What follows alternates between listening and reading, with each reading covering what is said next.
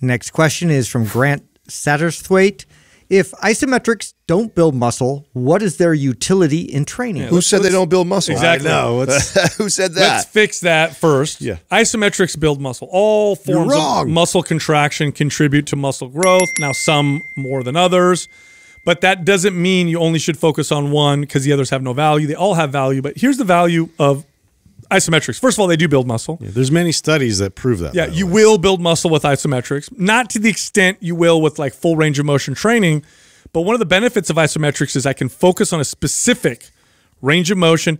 If I'm weak at the bottom of a squat, I can really focus on that bottom position of the squat. If I really want to connect to a muscle, isometrics really are effective at allowing me to connect to specific muscles. It's also not as damaging. Like I can go high intensity isometrics and it's not going to require the same recovery that, you know, traditional kind of resistance training is going to do. So isometric, here's the deal. Everybody's always asking, what can I add to my routine to make it more effective? Now, so long as you don't overtrain, isometrics is usually one of the best answers. Yeah. You can add isometrics to almost any routine. You'll take this much more recovery, but you'll get this much more in return. Well, so yeah, and the irony, it's like it, it spans all the way from the very, very beginner to the advanced. Like, Yes. there's benefits all the way across the board, and it's it's kind of funny that they said that you don't build any muscle when, in fact, any muscle contraction, whether it's like eccentric, concentric, or isometric, either one of those is going to you know act- actively stimulate the muscle in, in order to produce you know some kind of an output. So you know it's going to stimulate the muscle, it's going to affect the muscle, which in fact, if you do them you know enough times, it's going to help them grow and develop uh, as well. But yeah, isometrics. I mean, I think it's just because it's just not as popular, not as familiar. It's not as sexy. Um, you know, people don't like to focus on that portion, uh, you know, of contraction very often. But there's so many uh, other benefits to it that uh, get you really connected to the central nervous system. It actually, you know, acts as a way to alleviate pain uh, almost uh, instantaneously, which is a very amazing feature of it.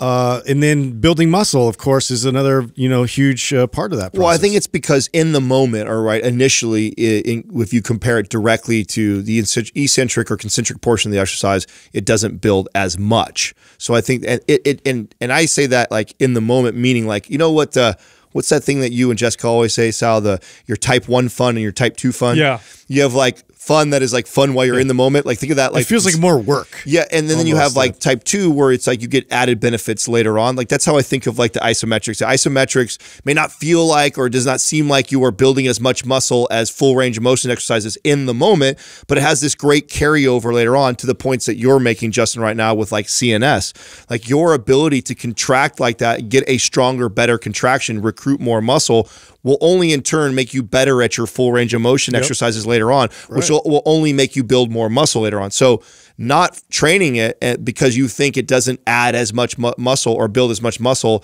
as a full range of motion exercise doesn't mean that it doesn't have tremendous benefit. This is another example too of how studies can suck sometimes. If you took a study that showed these people only did isometric contractions for six weeks, these people only did concentric, these people only did eccentric, which one built the most muscle over the course of And six you're to just looking at size or something. Yeah, you're going to look at yeah. you're you're in by itself in a study for six to eight weeks. You're right. The eccentric and concentric full range of motion is going to probably beat out for total muscle gain than the isometric. Yeah, but the isometric still built muscle. Right. You know, when you have all three contractions, concentric, which is the lifting, right? Eccentric, which is the lowering, and then isometric, which is this it's not moving, but you're contracting hard, either pushing against an immov- immovable object or just doing it intrinsically. If you compare all three, eccentric builds the most muscle. Second place would be concentric. Third place would be isometric. Right, yeah. But what we don't, what people forget is they all built muscle. Yeah. That means if you add them to each other, you get this cumulative it's a effect. compounding. Yeah. That's Yes. what I'm saying by that, right? Yes. So it's like even though in a study like that, if we are comparing, you go, oh well, I'm not going to waste my time with that one because it's the third most beneficial when it comes to building muscle. But that doesn't tell the whole story of what the carryover you're getting from training. Yeah, by the way, bodybuilders have a long history of isometric training. In the 70s, Arnold used to talk about doing it to sharpen and harden his muscles. Bodybuilders today still do a lot of isometric training. Now, they don't talk about it in their workouts because they don't consider posing as a part of the workout. But bodybuilders are posing constantly, especially before competition.